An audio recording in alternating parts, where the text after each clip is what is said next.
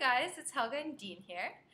We are co-curating an exhibit at Gallery 111, as you may or may not know. Um, it is called Projected Intimacy, and yeah.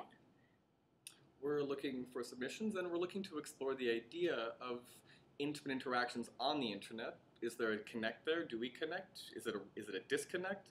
We'd like you to help us sort that out. So what we're looking for is video, streaming, textual works, Twitter, whatever you want to do, if you can make it into an artwork and you're willing to let us screen it in the gallery, let us know.